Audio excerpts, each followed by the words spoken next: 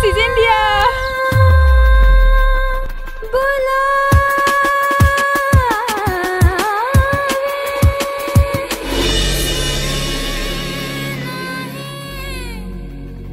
So this morning we have a later start than usual and I'm making the most of our really cool Eco Lodge. It looks luxurious and it definitely is, but it also supports some of the local NGOs in the area and it's part of the TOFT list, which is a group of hotels and lodges that support ecotourism in India. If you're coming to India, it's worth checking out the TOFT list to see if you can book one of the hotels on there. Today, the species that we're looking for are the Western Hoolock gibbons, which are the only ape in the whole of India, and some other primates.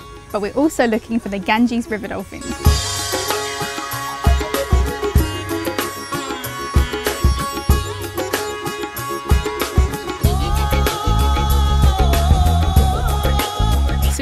Gibbons by the side of the road. There are three of them up here now.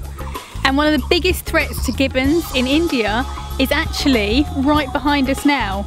The cutting down of all these forests for, I'm just gonna cross the road for you, tea plantations. So there's a huge tea plantation just behind me and you can see most of the trees in the area have been cut down, leaving little space for the gibbons.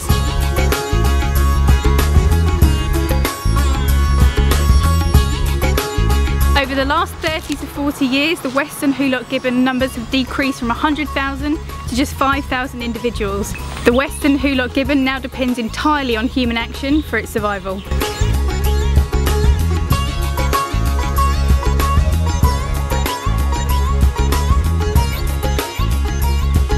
Everything that we've filmed so far in India has been land-based, but now we're heading to the Brahmaputra River to try and find the Ganges river dolphins.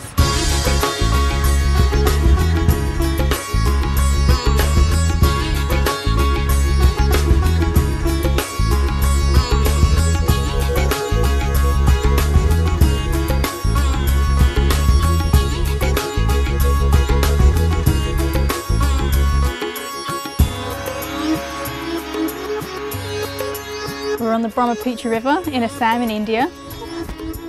Looking for river dolphins. A top tip if you're looking for dolphins and whales out in the ocean or a river is to look from right to left. In Europe we tend to do everything from left to right like reading and things like that so your brain tends to skip things and fill in information. If you look this way it really concentrates the mind and the brain and that way you can spot tiny specks in the distance and hopefully see a whale or a dolphin.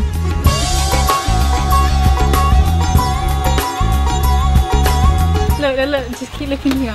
About 50 feet away from us in this direction. Come on, river dolphins. There! One just came up right here. We've just seen our first dolphin pop its nose out of the water and they have quite an unusual beak unlike other cetaceans. They have like an upward turned beak which Andy is going to get us a great shot of. Andy quick over here! The whole thing just breached over here. Oh my god. It's impossible to get this on camera. Saw it? Oh, oh! Is that fish or dolphin? Fish.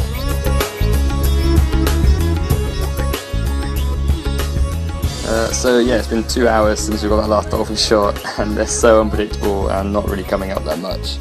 I think that first shot is the only one we're going to get. I'm so sorry. River dolphin populations are severely threatened all over the world and that's because human pollution is entering the river systems. Things like fertilisers, pesticides and sewage is killing off their prey items. In fact the Yangtze river dolphin has already gone extinct and I really hope these guys don't go the same way.